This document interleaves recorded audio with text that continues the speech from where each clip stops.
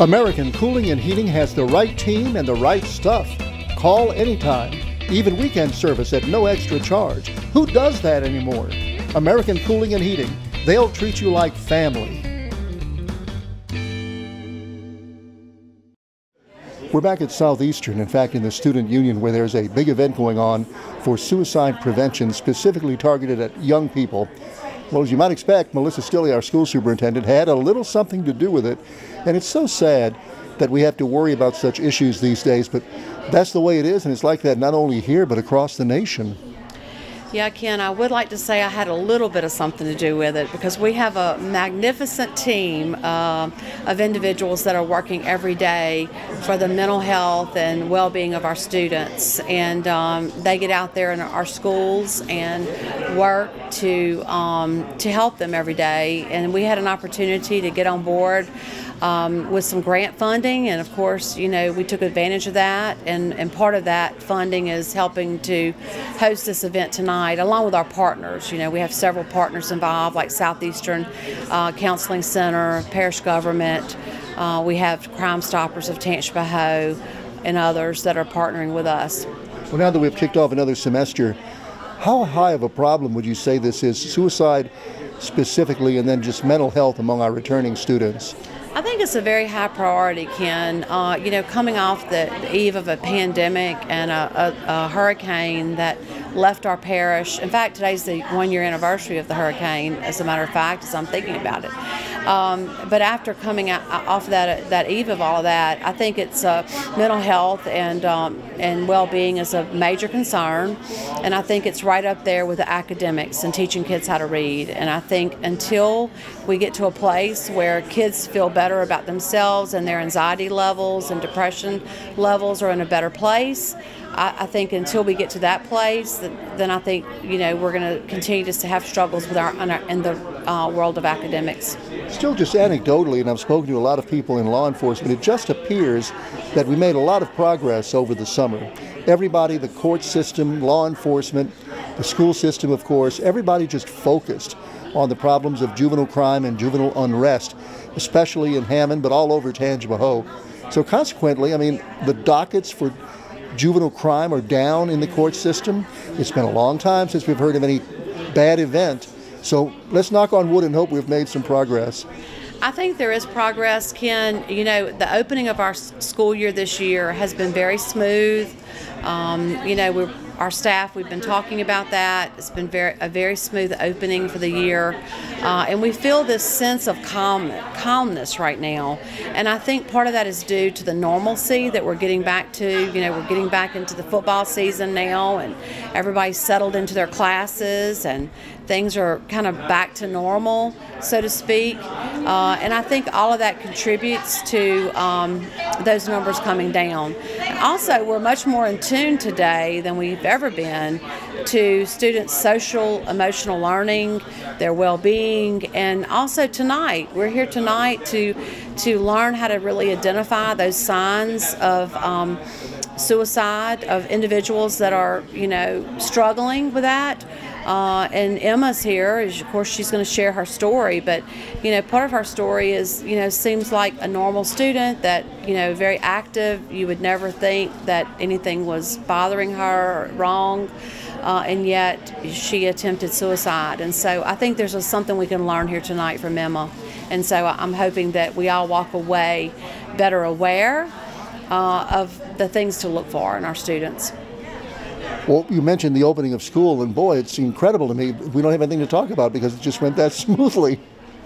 It's been very smooth, and we're very excited. You know, I made my rounds um, for the back to school tour and got into all of our schools. And uh, in September, I'm going to get out again and start making my September rounds in the schools again. And uh, I'm going to find some rides on a few buses out in the district and um, see how, how, things are going with our bus drivers. That'll be my next uh, stop.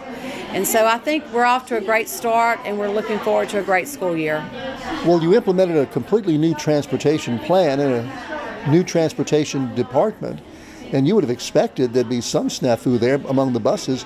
We haven't heard of any, and boy, no news is good news. Well, we've had a few speed bumps. We with our transportation. Yeah, we have a, a whole new team uh, in transportation, and we but we have had a few little speed bumps. But part of that is our need for for more drivers, and until we get to a place where we have a long list of drivers or a long list of substitute drivers that can take the place of bus drivers that are out sick or that can take vacant routes, I think we're going to continue to struggle with that.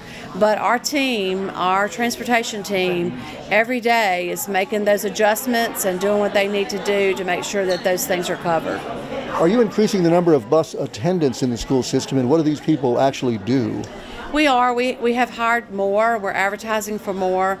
Uh, bus attendants are individuals that ride the school bus with the bus driver and the students to assist with students, uh, to help monitor students that are riding the bus. And we have that along with, you know, camera system as well uh, on the buses to help with monitoring not only the, the road ahead of them, but also the students on the bus.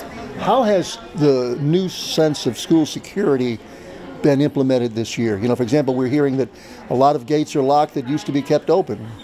Yes, uh, it's funny that you bring that up. I've actually tried to enter, as I've visited schools, I've tried to enter in the back way of this campus, of go in by the gymnasium or try to sneak in by the back way of the cafeteria, and I've, I found it impossible, Ken. Uh, and uh, so also we have our school resource officers, which we've increased the number of school resource officers this year. Um, they go around also and try to um, get into the school different ways through other outside exterior doors, uh, and then go report to the principal, uh, hey, I was able to get into this door, or no, your school is locked tight and it's very secure. And so um, that's a lot of people. Uh, really, it takes everyone looking out for safety these days. What else are you working on? Well, we're you know head, getting close to September and uh, Labor Day weekend, and um, we're looking forward to a great year. And uh, I think it's going to be a, a very normal year for us. So still no, no problem getting teachers. I mean, at least at a fuller complement than we've ever had.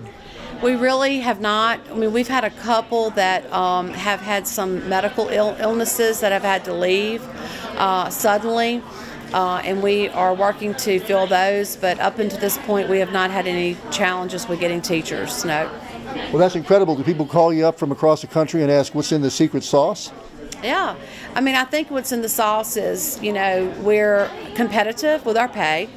Uh, and we have great benefits. And so we're able to offer a pay where individuals can stay right here at home and make a great living in, in their home parish and have great benefits. And, um, and so I think that's what we have to offer here. Great news. There's someone you can call for fast, reliable service on your air conditioning. American Cooling and Heating. 24 hours a day, 7 days a week. Friendly people who are experts at what they do. 25 years in business with lots of satisfied customers.